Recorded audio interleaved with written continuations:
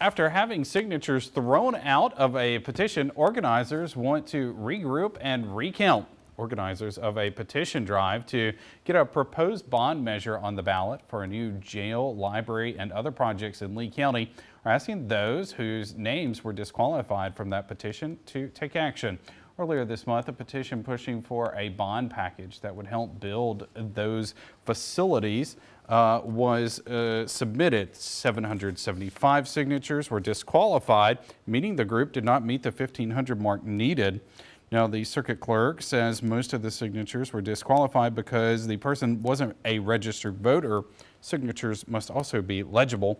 The Lee County chapter of the NAACP says those whose signatures were disqualified can go to the Justice Center and sign an affidavit contesting the decision. As the taxes are, they're going to go up and they'll be there for the next 20 years and we'll, we'll continue to have to pay on those even after 20 years possibly. So with that being said, you're now will be paying on something that you didn't agree to or had no voice in. But now's the time to have the voice that we can push this to a vote without five people making that decision for us.